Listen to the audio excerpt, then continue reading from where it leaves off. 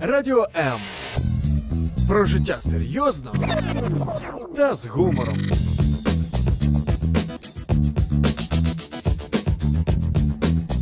Радіо М.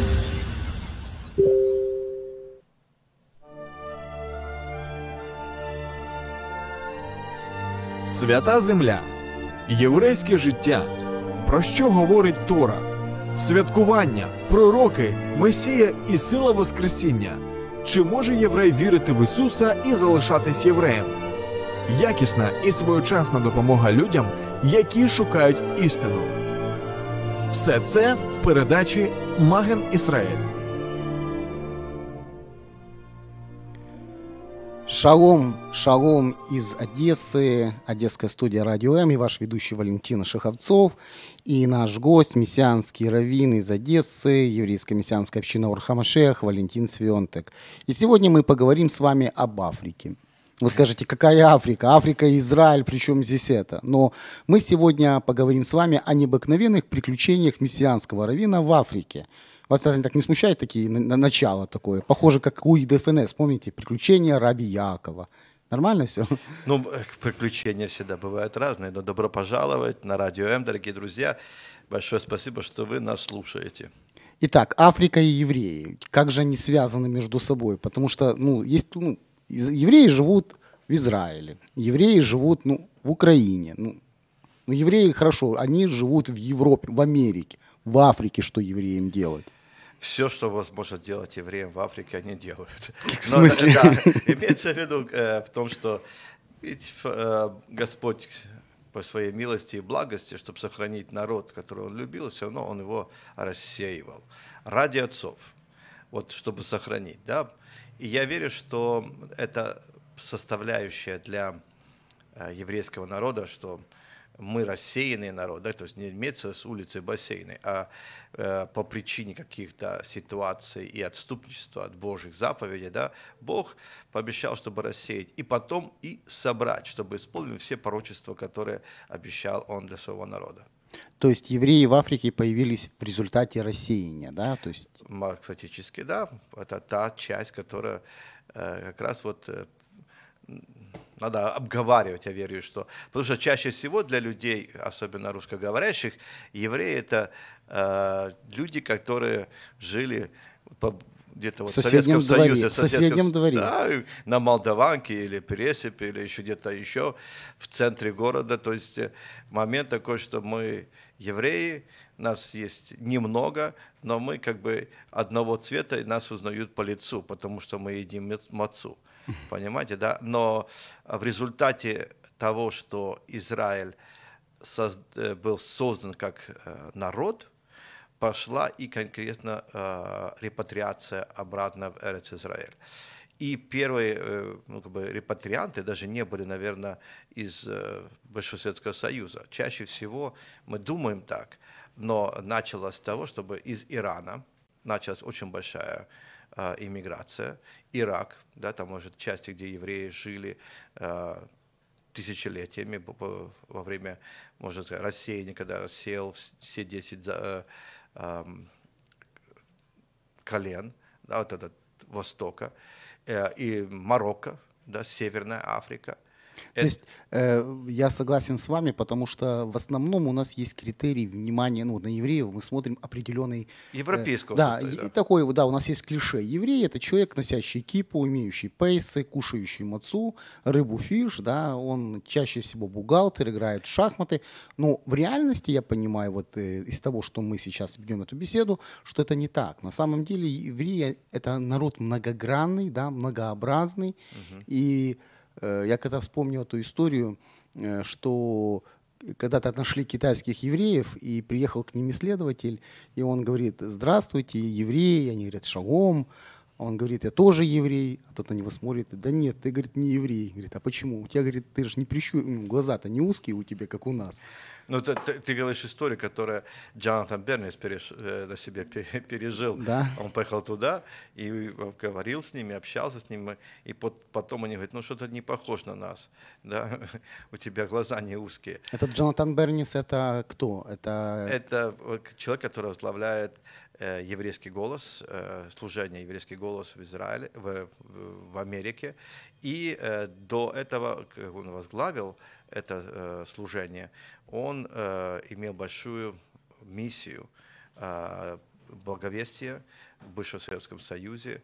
Это началось с Москвы, Санкт-Петербурга, и в Одессе были фестивали, где э, именно доносилось благовестие или Брихаташа, Новый Завет для э, евреев, что э, Ишуа Мессия еврей, который пришел вот в этот мир по обетованию Божьему, взял на себя э, наши немощи и болезни, да, взял на себя грех мира и фактически примирил нас с Богом. И даже вот здесь, смотрите, мы опять разрушаем стереотип, потому что, опять же, стереотип евреи и христиане, они несовместимо, на самом Ну деле да. оно разрушается. И наша одна, одна из, из наших целей передач это действительно показать вам все многообра- многообразие еврейского мира, веры в еврейского Мессию Иешуа. И если у вас будут вопросы, вы в Одессе, вы захотите встретиться с Валентином Свентыком, без проблем. Я думаю, напишите нам, и мы обязательно э, сделаем вам эту встречу, чтобы вы могли задать ему как много больше вопросов. Будучи в Одессе, не проходите мимо, да? Э, Это было бы хорошо. И э, давайте вернемся тогда к понятию евреи из Африки. Да, вот потому что вот опять же, евреи из Одессы, это понятно, они сейчас живут в Хайфе, а евреи из Африки, как они там появились вообще? Ну, э, опять же, есть э, та же градация, что и, наверное, в, Израиле. Некая ка- каста, да, более привилегированных людей, евреев, которые считают себя по еврейской линии более еврейские, чем остальные.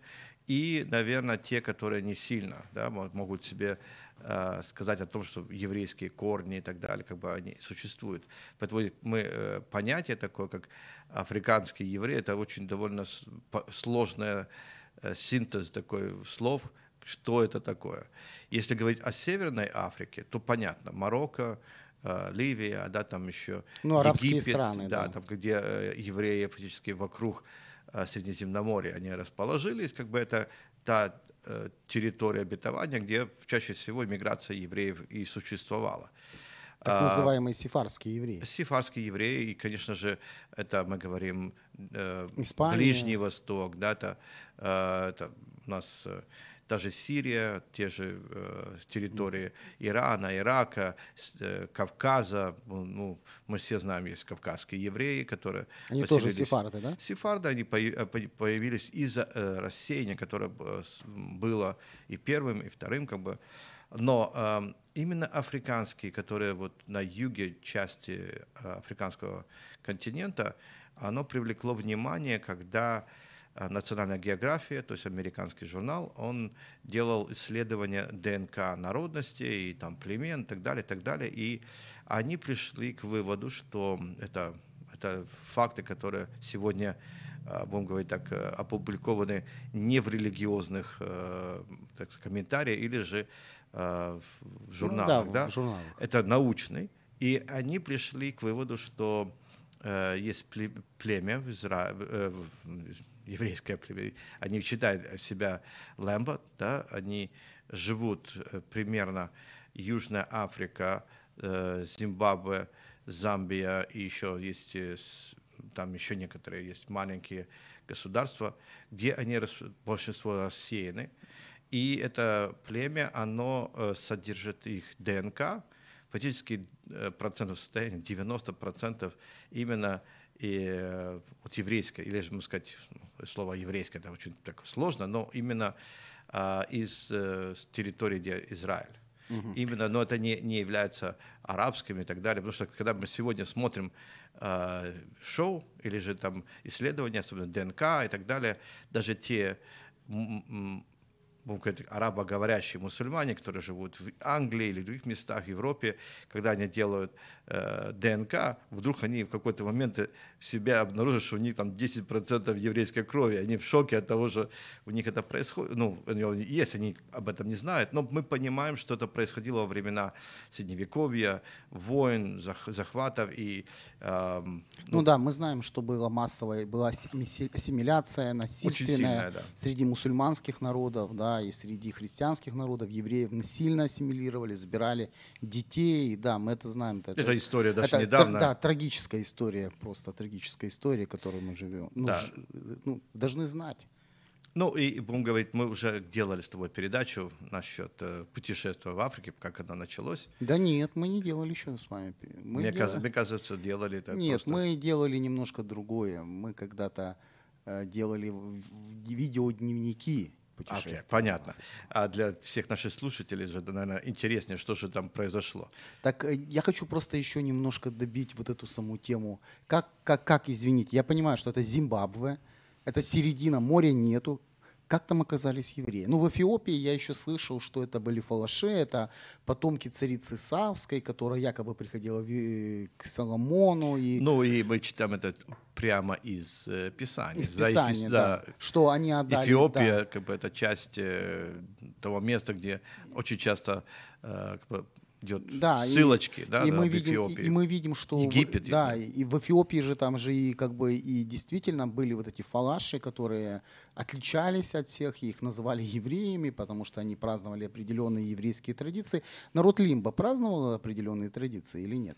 Э, у них остались э, традиции, которые э, подходят именно под э, именно религиозный образ жизни евреев. Я понял. То есть, э, получается, они являются потомками евреев, которые попали туда в результате рассеяния. А, Очень интересный момент. Это при восстановлении второго храма, и ну, история надо, нужно идти аж туда, где фактически евреи в первую очередь были взяты в плен в Вавилон, да, будем говорить, мы это знаем историю уже э, Неемии, Эзры, э, также к- книга Ну да, не имея книга Эзры, да, я помню. И э, мы Пурим празднуем даже по причине того, что мы победили, правильно, как бы это, в, этой, в, в этом не- несправедливом состоянии, когда нас угнетали, хотели Вавилоне, уничтожить. да. Да. И э, здесь вот э, момент, когда вот возвращение обратно по пророческим, которое было сказано об Израиле, возвращение из Вавилонского пле- племя или пленение, да, это э, как раз вот э, время, когда было восстановление э, самого Иерусалима, э, храма, и в этом вот начинается история оттуда, фактически. То, как это нам передали и сами Лэмбо, да, те, которые верят, э, Я что, просто не, что нет потомки Я евреев. оттягиваю вот этот момент э, знакомства с Лимбо. Мне просто хочется уже вот расставить все точечки над «и», чтобы потом перейти, каким же образом вы из Одессы оказались в Африке. Ну, я понимаю, что если там, ну, не знаю, там в Израиле, понятно, поехали к родственникам, поехали к друзьям, ну, в Африке. И поэтому я чуть-чуть хочу дотянуть вот этот момент, чтобы наши радиослушатели поняли, как же евреи могли оказаться в Африке. Я могу вам э, сразу, если кто-то очень интересуется в этом, первое это очередь э, Библия, да, посмотрите, э, читайте Писание. И в, э, в 13 главе Неемии говорит э, о том, что происходило, как раз вот реформация, которая касалась как еврейского народа, и фактически эта реформация э, смогла сохранить еврейский народ уже до сегодняшнего дня. Именно та реформация, которую э, провел Неемия, в том числе и ассимиляция, которая была жесткая. И в этой э, жесткой ассимиляции мы увидели, э, когда они говорят о том, что заметил, Неемия говорит, «На- заметил, что э, евреи ассимилировались с другими народами. Мало того, что они ассимилировались, их дети не разговаривают на иврите. На разных языках, которые там вокруг, но не на, не на иврите. И мы понимаем, что Саванавалаты, там еще другие, которые противостояли восстановлению храма, у них была своя э, причина для этого. Мы, ну, это надо целое исследование делать, чтобы вы узнали. И на это я пишу свою историю, как бы я не свою историю, а э, документ э, для семинарии. То есть И- вы пишете диссертацию. Ну, почти, да, там, там такое. И э, там же как бы, мы находим э, момент, где Неемия изгоняет э, сынов Левия, то есть э, первосвященников, или священников, там это 13 глава, они как раз, вот я могу зачитать это место, Я думаю, что это будет уместно. Ну, там он говорит в 25 стихе, там, «Я делал э, за это выговор проклинал их, некоторых из, из мужей бил, рвал у них волосы, заклинал их Богом, чтобы они не отдавали дочерей своих за сыновей их и не брали дочерей их за сыновей своих и за себя. То есть он говорит, тоже как бы проклятие будет на тех, кто будет жениться на нееврейках. Это была сильная, жесткая реформация, фактически противоречащая немножко э, закону Моисея, если так взять в глубину очень большую. Он имеет ссылочку как бы э, и оправдание, что наш великий Соломон из-за того, что имел других жен, да, и они его свели э, с правильного пути, и оттуда пошло падение Израиля. И по этой причине, по этой ревности он изгоняет. Дальше вот э, можно почитать. Из сыновей Ио, Иоды, сына великого священника Илишава, один был изъятием Санавалата Харанита. Я прогнал его от себя. И вот здесь как бы ты, ты не можешь изгнать одного. В других местах э, э, мы понимаем, что эти священники не хотели, эм, ну, не соглашались с такими реформами. Ну, наверное, у них было свое понимание, то, что они должны делать, как ну, они это делают, и то, что не соответствовало там, Писанию, скажем, там, да? Там некоторые есть народности, которые не, с которыми нельзя, либо не нужно было связывать свою жизнь. Не нужно было. Но при этом мы понимаем, что бабушка Давида, была мавитянка, с которой тоже нельзя было это все э, как бы восстанавливать, эти отношения. Но мы понимаем проселитизм или же обращение э, к, к ну, ну, это знаменитая Бога. фраза, да, твой, твой народ, народ будет моим, моим народом, народом, да. а твой Бог будет моим Богом. Куда вот ты пойдешь, туда я момент, пойду. Да, вот здесь вот как раз вот момент. Неемия делает реформу, которая, возможно, для, на их понимание была не конституционна, то есть не по Торе и нежелание их э, отдавать, ну, отпустить детей, жен, а, привело к тому, что их изгнали. И старое время, то есть в ветхом э, ну, времени, Завете, да. или в ветхом времени, вы говорите, истории, потому что когда мы изучали э, историю Иордании и э, географии Иордании, у меня был такой курс в Иерусалимском университете, э, там говорили одну простую вещь, э, что в старое время было законом среди народов, что от, нужно, если тебя изгоняют, да, ты возвращаешься в дом отца. Даже мы видим и Руфь, да? Ну, да. ей говорят, иди в дом отца. Не, ну, не просто отпускать, ты, тебе нужно не, не, куда-нибудь уйти, а возвратиться в дом своего, своих родителей. Это было общее принятое положение среди народов. И когда было изгнание, то фактически э, то, что говорят Лэмбо, и у них, у них это, мы говорим, э, устное, да, устное предание, что э, и они уехали в Йемен, оттуда, откуда были э, жены эти, этих э, священников. Мы видим только э, как бы одного, да, но фактически там это было целое, целый семей, род. целое это семейство, целый род, это же не один семейство, человек. да, которое выехало то есть они выехали. Они, э, Их выгнали. Выгнали, просто. и они не могли в другое место вернуться. Они не, не было места, где жить, и они вернулись в Йемен. В Йемене э, они не ассимилировались. Они там стали жестко исполнять еврейские свои э, правила, и шаббат, обрезание детей, да, праздники, э, чистота, нечистота, как бы это вот э, чисто нечистое. И э, там они пробыли 2000 лет почти безопасности. В Йемене. В Йемене 2000 лет безопасности. Они не пережили ни, э, может говорить так, э, э, погромов всевозможных, ни уничтожения. Из, да, Иерусалимского храма, храма, продажа в римский, в рабство, вот это что Ну да, вот даже во времена Ишува они не понимали, что происходило конкретно. А потом Рим, туда не дошел. Мы потом понимаем, что э, в Да и Византия до них не дошла. Да, может быть, может быть и доходила, но как бы, там часть э, все-таки это царский путь был, и все-таки христианство доходило до тех мест, но э, где-то где 500 лет назад, где-то 500 лет назад, они пережили э, э, голод, е, е, то, что они говорят. Йемен переживал голод, э, была засуха сильно, и Всевышний их вывел оттуда, ведя их этим как бы как э, звезда. Я не знаю, насколько это правда, но они говорят, что таким образом они приехали, при, прибыли вот на территорию э, где, они где- где сегодня они находятся. Э, Количество людей Лемба, именно вот евреев, африканских евреев, да, таких, около 700 тысяч.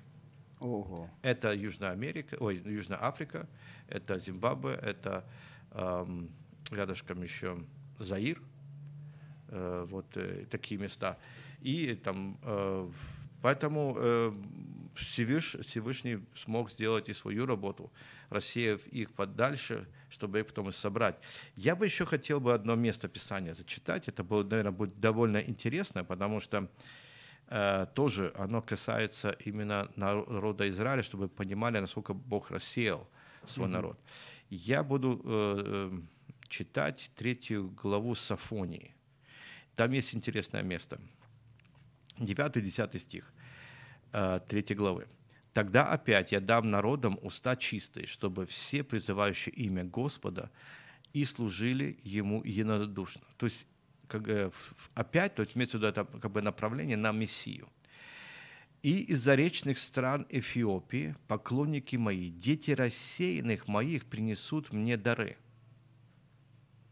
И там э, говорится дальше земля Куш, э, то есть э, из-за заречных стран, то есть у нас по-русски говорят, а по- по-английски, и э, вот из после, то есть и, эм, э, Еги- э, Нила, А, то есть... э, За Нилом. За Нил, за за, за Нилом, то есть э, мало того, что из говорит, Эфиопии, где евреи там находились, он говорит, за заречные, поклонники мои, дети рассеяны мо- моих, принесут мне дары.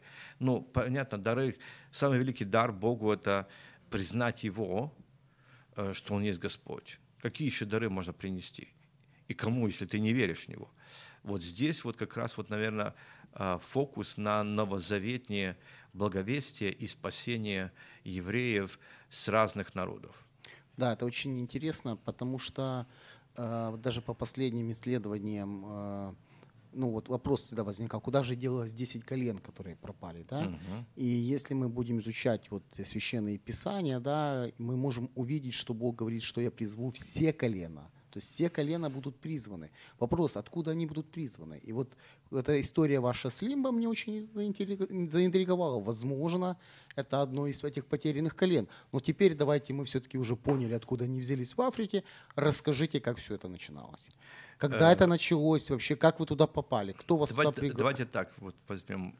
Наше со- подсознание нам всегда толкает на то, что евреев с темной, э, темной кожей не может быть. Ну как, в Израиле они же есть.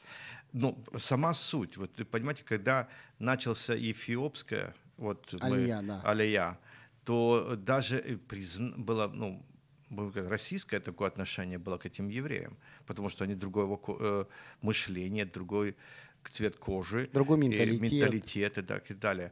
А, потому что по, по какой-то причине во всем мире сложилось одно мышление, Ну, то, что мы начинали, да, с утра да. мы начинали с начала Да, передачи, что есть стереотип вот, Да. мышления. Даже возьмите в церковных э, всех книжках или историях, всегда если рисовали Иисуса, то есть его рисовали э, белокожим, понимаете, да, Блондином таким, таким, да, да. Поэтому это уже как бы предыстория к тому, что э, евреев с, друг- с другой, э, другим цветом кожи не может быть по фактически. Но мы благодарны Богу вообще за наше время, в котором мы живем, первое. И э, такое будем Э, Время хоро- разру- время изменений, Время перемен, разрушения, разрушения да, стереотипов. стереотипов. И э, даже то, что возвращение ара- э, иранских евреев, да, они ж- ты- вы, вы не можете их отличить от, э, наверное, арабских, которые там живут, да, вот по, по округе. И также само марокканских. Ты понимаешь, что это люди именно восточные. А наши, наши евреи, са- сарфа- э, именно э, ашкеназы. ашкеназские, они точно отличаются. Да? Ну, конечно. Ну, даже у наших есть э, евреев, которые могут доказать тебе с десятого колена э, по бабушкиной стороне, что у них еврейские корни, и у них рождаются белокурые дети, понимаете? Это ди- диковинка А вы такая. помните эту вот знаменитую историю в нацистской Германии, когда э, провели конкурс на Да. лучшего арийского ребенка И выбрали. и выбрали красивую белокурую девочку, такую просто, и все говорили, вот она, эталон красоты, а потом оказалось, что она еврейка. Вот, вот да, ну, сегодня и есть очень много эталонов. И по причине того, что э, в, евангелизацию, может, или в глобальный э, поиск евреев вклинилась и наука, таким образом мы узнали, что есть и другие народности или евреи в других народах так как мы э, и Ну, среди... я- вы, вы говорили, что не только, мне вот интересно было, тут можно и без ДНК. Живет в Африке народ, который почитает субботу, делает обрезание, э, придерживается законов как какой-то... кош- Вы, да, вы меня извините, но это самое, сегодня адвентисты седьмого дня, ты не скажешь, что это евреи. Но они не в Африке. Не, ну сама суть. Мы не, не ужаем братьев, э, верующих в Иешуа, из- почитающих субботу, да, но в данной ситуации именно под, это, это исследование подтолкнуло то, чтобы приехать к ним.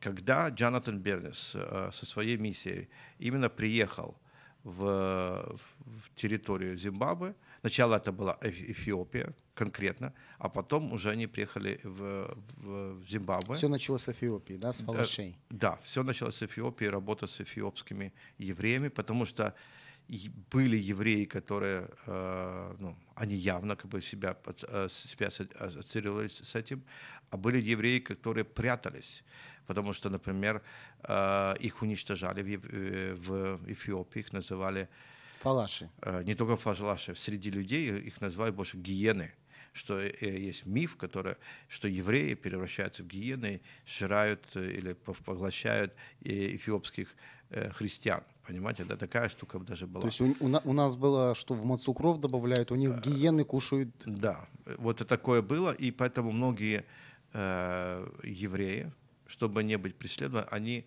э, на лбах, женщины там, или на руках делали кресты. Да, Да. Я, я помню, такие есть фотографии, стоит человек такой, и у него на лбу крест такой.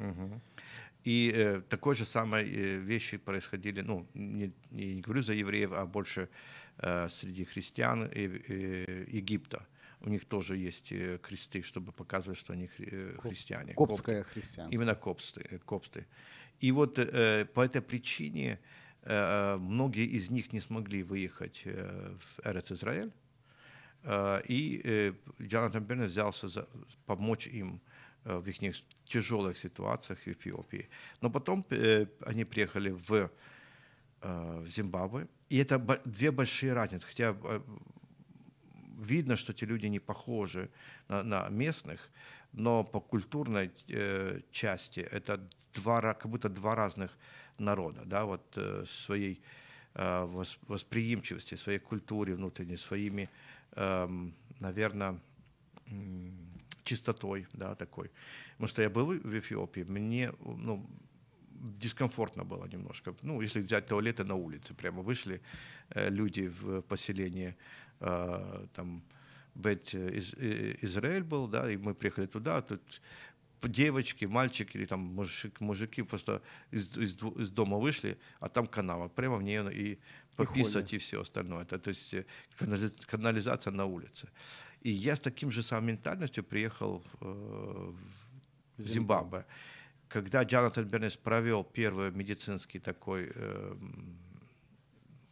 выезд, э, с тысячи людей. Тысячи людей пришли А на... что такое медицинский выезд? Что, Ну, в чем он это, это медицинская миссия, эм, потому что То есть это врачи, которые врачи, идут... э, верующие э, врачи, которые имеют возможность специ- специальности э, по глазам, например, да, а, каким-то еще вереническим болезням, какие-то еще какие-то, м, ну, Ну да, я понимаю, да, специалисты. э, например, даже зубы делать и так далее. То есть в этих странах, в Африке, э, оно Ну, мы знаем, что в Африке, не что там творится. Там нету э, медицинского такого обслуживания, как у нас. То, Смотрите. что у нас, например, наверное, для них это было бы самая вершина. Хотя мы жалуемся. ну, с одной стороны, можно так сказать, да, там очень сложно. Но с другой стороны, как вы можете понять, что там есть, есть э, больницы, но они переполнены. Они, э, они, люди не, не успевают из-за, из-за болезни, просто не успевают выздороветь, потому что мы посещали больницы. Это, очень сложно, не похоже на наши. Хотя многие специалисты выучились в бывшем Советском Союзе. Зимбабве э, помогли переворот сделать, ну, в Советский Союз в 80-м году. И специалистов очень много было из Советского Союза, бывшего Советского Союза.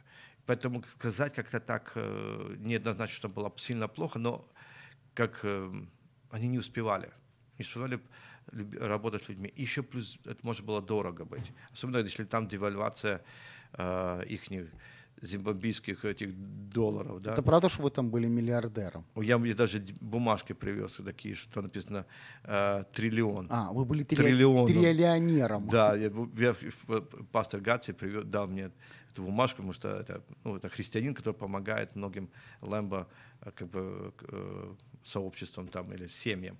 Но э, эта ситуация, она как бы была неадекватная такая, было трудности. И Джонатан Беннес провел эту медицинскую миссию, и тогда началось вот э, общение. Общение было на том уровне, что э, кто вы, что вы, и собрались э, главы семей, они тоже как бы называются как бы, э, лидеры колен, ну, это семейные, и, у тоже них было... интересно, лидеры колен, да, вот буквально да. как в Писании. И них тоже 12. И тоже 12. Тоже 12. И они между, ну, они между собой общаются, у них как бы глава или же председатель, можно сказать. Свой Моисей, мест, местный Моисей. Да, такого рода, да. И когда нас глава вот племени, там, там, этого колена нас вызвал, его, э, его имя Иосиф и фамилия Цадик – но он не знал, что, что значит его фамилия Цадик. Да, мы говорим, послушай, такая интересная фамилия, ты знаешь, что она значит? Он говорит, да нет, это из семьи, в семье Цадик, Цадик. Я говорю, Цадек. Святой. Да, Цадек. Он такой, ничего себе, такой. А, но э, в чем ситуация, что э, к ним до этого, когда вот, э, как и в, в эфиопских и, э, евреев, приезжали представители религиозных э, общины Израиля. И с ними вели э, э, переговоры, как и э, мусульмане вели переговоры. Мы братья, друзья, мы братья, и мы хотим вам помочь, но, на, но условие будет отречение от э, вашего мисс... образа жизни. Нет, они даже на это, на все это образ жизни можно приви, при, э, ну, привить, вы понимаете, да? А именно позиции, что большинство из них наверное, 80% из-за того, что они были обучаемы в школах, а в школе до сих пор в Зимбабве изучают Библию, у них осталось мышление Нового Завета, что Иисус из Назарета был и есть Мессия Израиля. Но а, многие из них, они просто традиционные христиане, не имеющие отношения как бы, с, э, именно с Богом их ведь даже унижали, вот они посещали церковь, там, католическую, например, или лютеранскую, что там много было разных, э, ну, сказать, Миссий. нет, предприятий, а, потому что это очень богатейшая земля минералами, предприятия, например, по добыче золота, э, серебра или там э, очень драгоценных э, ну, да, и, материалов. И при этом триллион, триллион буханка хлеба. Но это, это сейчас. Но, а тогда Южная Родезия считалась одной из самых развивающихся стран на уровне э, Южной Африки. Пока мы с не приехали друзья на танках помочь строить социализм. Ну, там неоднозначно, неоднозначно там, там произошло. Там просто местное, э, будем так, белое население, там были синагоги, которые были из аскеназцев тоже, и они, и фермеры были в основном белые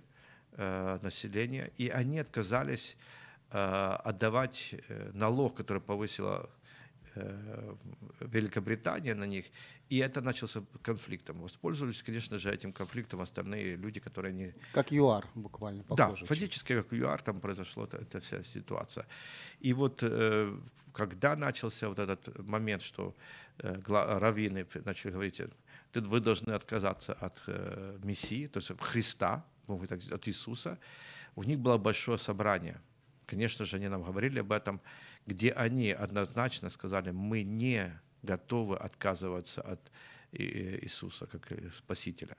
Но они не понимали, как себя вести. Почему? С одной стороны, э, они были унижены христианами, потому что э, образ жизни, когда они ведут, и это культура их как бы, общества. Да? Явно еврейская. Явно еврейская, например, обрезание своих детей. Э, не, э, никогда не пользовались э, ну, нечистыми животными. Да, там, э, у них должно было свой быть э, шохет, то, это, кто, мог, да, кто убивал э, э, животное, и только а это животное они будут кушать. Резчик. То есть. Да, резчик, который...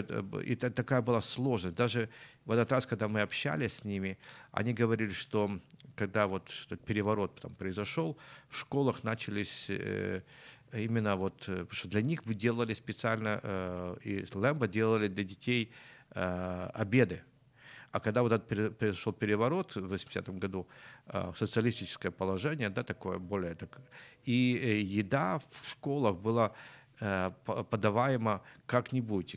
И Лэмбо не знали, откуда мясо, и поэтому отказались есть его, и фактически они, многие даже ну, голодали по, по причине того, что они отказывались Э, кушать мясо, которое не было зарезано ихними резчиками. Вот настолько они были сложные. Ну, это похоже на ортодоксальную традицию, что мясо должно пройти каширование да, определенную. Да, да.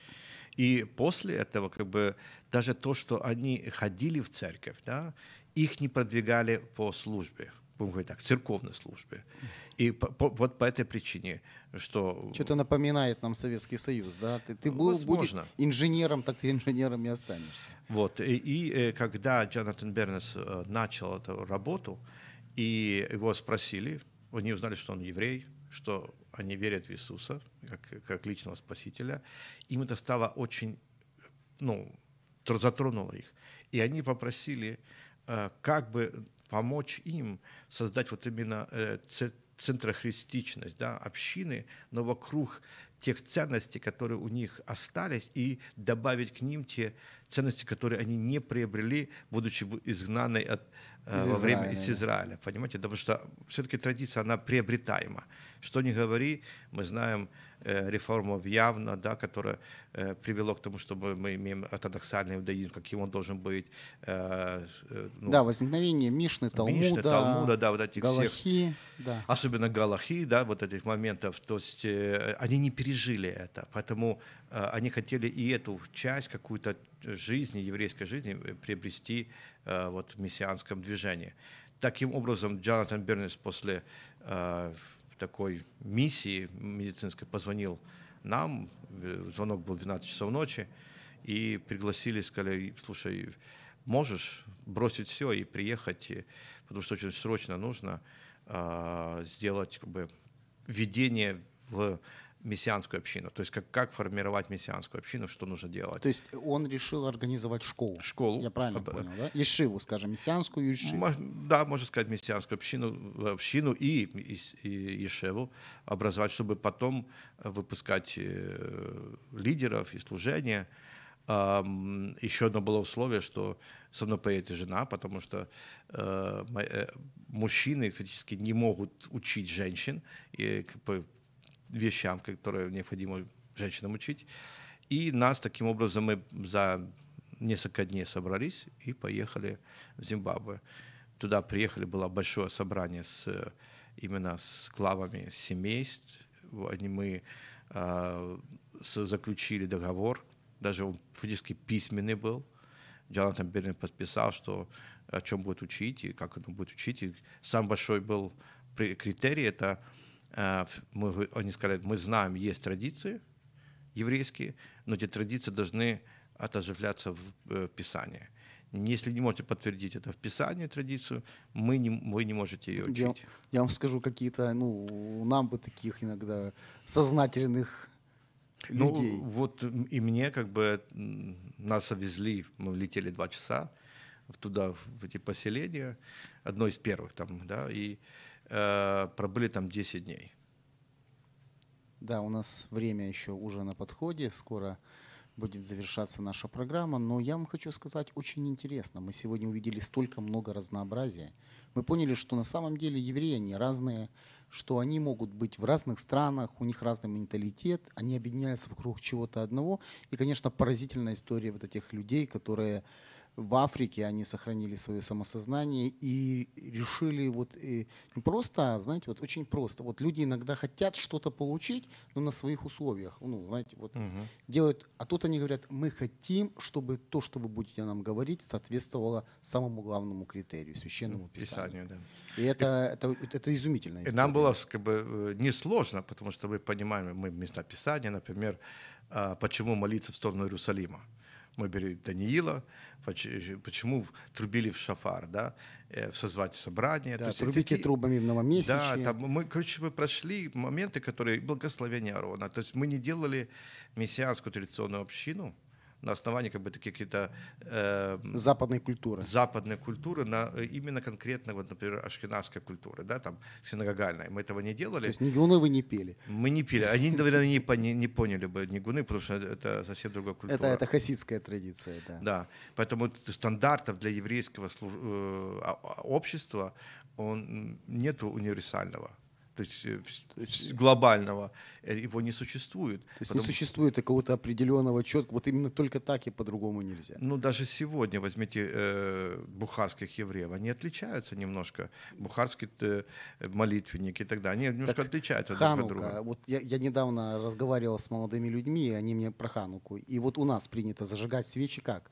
Берешь шамаш, зажигаешь каждый шамаш лет, да. и зажигаешь. А вот у сефардов нет. Вначале зажигаются свечи, а от свечей зажигается шамаш. Ну, И я, я говорю, как? А вот так. И мы посмотрели, действительно, сефарская традиция вот так, ашкенадская так. ну И- а теперь африканская, да? Какая Но я вам скажу так, чтобы э, быстро зак- закончить наше э, Ну, мы, да, у нас осталось немножко времени, Минуту. но просто чем вот сегодня, как вот Вот я хотел бы закончить да, вот этим. этим. С 2012 года, когда мы начали первую мессианскую общину с э, вот, э, формирования ее структуры и так далее, Это Зимбабве. подобное в Зимбабве, у нас продолжилась школа, которая э, стала теперь для членов общины. Потом мы организовали школу, ну, э, Кадима, это значит уровень выше, то есть э, более... То есть э, уже так, институт какой-то. это уже бакалаврат. Э, И в этом году мы э, выпуск, сделали выпуск э, первых э, 26 человек бакалаврата, служителей для мессианской общины. Скажите, как, какая, какого размера эта община? Если мы в 2012 году начали нашу э, общину фактически там только с учеников, ну, плюс-минус нам пришло где-то около 120 человек на собрание, первое собрание, то на сегодняшний день э, мы имеем э, около 8 тысяч человек, которые поверили в Ишуа Мессию, прошли водное погружение, примерно 70 домашних э, именно, э, общин по регионам, и это движение все равно растет и То есть увеличивается. это евреи, потомки евреев, и они сегодня ну, ведут, скажем, еврейский образ жизни Да. в христианском в таком контексте. Да? Да, То есть да. ми- то, что мы называем сегодня мессианские евреи. имеют э, свою структуру, имеют свое как бы, управление. Э, Да, я помню вот эту знаменитую картину «Шафар», вот этот, который вы привезли, где трубят не как у нас, а как-то сбоку. Вот так. Сбоку, да. Но э, мне нравится, что сейчас наш э, первый студент, который у нас был в первой Ешиве, он женится и захотел сделать именно э, мессианскую э, хупу или свадьбу и просит, чтобы мы приехали и сделали это. То есть э, э, дали им эту тради- традицию именно мессианской, э, еврейской свадьбы, потому что она немножко отличается от того, что мы вообще делается. Она отличается от израильской и, и отличается от вообще от мессианской. Они более такой, какой есть. Наверное, в старые времена просто пришел, взял жену и все, пошел. Родители сказали да, и это хорошо, только заплати э, оброк, то есть заплати с, э, 400 долларов примерно стоит, э, чтобы выкупить э, Жену. жену. Ну и, между прочим, не все еще получают. Это очень сложно там, получить это все. Вот видите, как, как, как, как нам хорошо здесь. Хорошо. Было очень... Я, я, я смотрю, уже наше время завершается, подходит к завершению. И вот что вы видите в дальнейшем? Вот какое у них может быть развитие? Вот, потому что на самом деле мы ничего не знаем об этом народе. Мы не знаем, что там происходит. И вот сегодня мы узнали, что оказывается уже 8 тысяч последователей Мессии Иешуа. 700 тысяч. Из 700 Из тысяч. 700 тысяч. Я думаю, что это все равно молодое э, движение, которое э, реформи- э, ну, происходят большие реформы. И у них есть будущее лишь по одной причине. Они остаются теми евреями, которые держали фактически больше двух с половиной тысяч лет, или четыре тысячи лет, да, там три тысячи лет, держали свою э, идентичность. То есть они хранили свою традицию, кем они являются, самоидентификацию. Она была затерта, она была разная. Да, они э, темного цвета кожи. Но им не давали забывать, кто они такие. Ну, знаете, сегодня у нас есть э, в Украине э, золо- э, призер золотой медали, да, он Жак по имени, да, а фамилия у него украинская. Да? Он украинец или нет? Ну, знаете, как говорил старый, старый еврей своему сыну, сегодня в школе ты еврей, завтра в институте ты еврей, а получишь Нобелевскую премию, будешь великим русским изобретателем. Ох ты, молодец. Поэтому э, была очень приятная, хорошая беседа, мне очень понравилась. Я надеюсь, нашим радиослушателям тоже это понравилось. И если вы имеете ваши вопросы, вы хотите узнать больше об Израиле, о мессианском движении, о евреях, христианах, то пишите к нам э, на студию, и мы обязательно ответим вам. Если вы захотите встретиться с нашим гостем, вы можете написать это в комментариях, и мы обязательно сделаем возможность вам как-то встретиться и пообщаться. Ну да, Жак Болинюк все равно это великий украинец, который завоевал золотую медаль по борьбе. Но я- но я вам скажу, еще что- И э, у нас в, в Раде Я вам хочу сказать, что Иисус Христос, Иешуа Мессия, еврейский. еврейский Мессия, Мессия. и Спаситель всего человечества. До Аминь. скорой встречи. С, нами, с вами был ваш ведущий Валентин Шховцов и наш гость, мессианский раввин из Одессы, Валентин Свентек. До скорой встречи на волнах Радио М. Шалом, шалом, Шалом. шалом. Якщо вас зацікавила тема передачі або у вас виникло запитання до гостя, пишіть нам radio.m.ua Радіо М. Про життя серйозно та з гумором.